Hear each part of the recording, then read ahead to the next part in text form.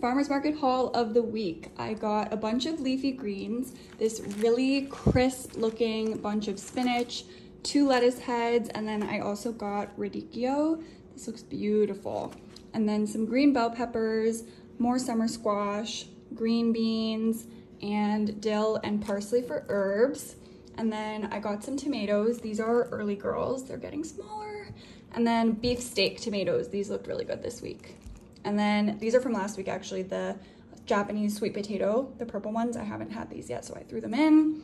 And then an onion, I have more onions though. Some lemons, Meyer lemons, apples. These are so good, crispy and sweet. Raspberries, and then I got Japanese eggplants.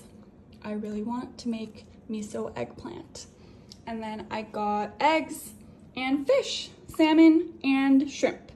And that is the haul.